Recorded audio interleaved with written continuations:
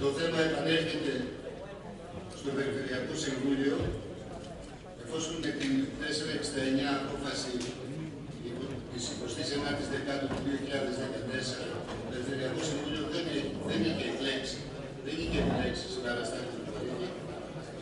Έτσι λοιπόν, το θέμα συζητείται ξανά σήμερα. Θα ήθελα από τους ε, υποψηφίους, από τους ενδιαφέροντες, να καταθέσουν τις υποψηφιότητες στο Προεδρείο. Η υποψηφιότητα του κύριο Δημήτρη Κωστόγενη, του Γεωργίου, είναι δικηγόρος πρωτοδική Τρυπόλεως, κατοίκου Τρυπόλεως και πρόεδρος του Δικηγορικού Συλλόγου Τρυπόλεως. Και υπάρχει η υποψηφιότητα του κυρίου Κουλούκου, ο οποίος ήταν υποψήφιος και στην προηγούμενη συνεδρίαση. Θα δοθεί ο λόγος και στους δύο να αναπτύξουν και να μας παρουσιάσουν την προσωπικότητά τους.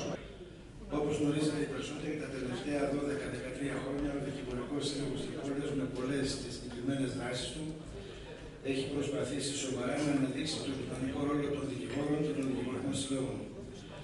Έτσι, με τις δράσεις μας στα υπερχρεωμένα νοικοκυριά, στη συνδρομή στους άπορου πολίτες, στα χαράτσια της ΔΕΗ, στις κακοποιημένες γυναίκες και άλλες, κάνουμε πραγματικότητα αυτό το στόχο.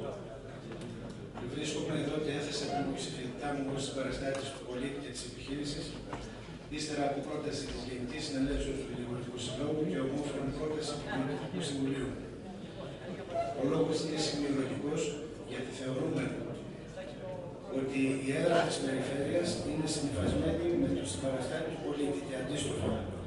Πιστεύουμε ότι παρέχουμε μέγιστη υπηρεσία στον πολίτη και στις επιχειρήσεις όταν είμαστε κοντά του εκεί που λαμβάνονται οι αποφάσει. Σημειολογικά λοιπόν και επειδή πιστεύουμε και στην περιφερειακή ανάπτυξη και στην εξαρτήνωση των δράσεων της περιφέρειας, γι' αυτό υπηρετήθη η παρούσα υποψηφιότητα.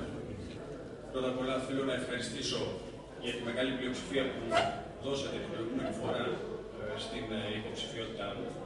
Μια πλειοψηφία που μάλλον ερίδεται σε σχέση και με τη δυνατότητα να καθορίζεται το εκλογικό, ένα εκλογικό αποτέλεσμα ή ακόμη περισσότερο η απόφαση ενός Περιφερειακού Συμβουλίου ε, από τα πρώτα μέλη.